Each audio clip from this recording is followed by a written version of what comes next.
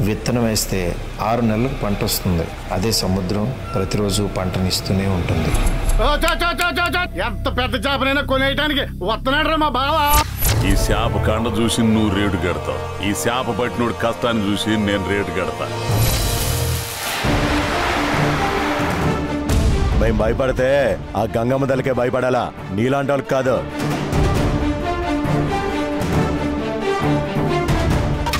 సన్నవలేస్తే సముద్రంలో చిరుచేప గుడ్డుతో పాటు మొత్తం లాక్కొని వచ్చేస్తారు కదయ్యా. ఆ ఎమ్మెల్యే వద్దన్న సన్న వలేస్తుంది నేను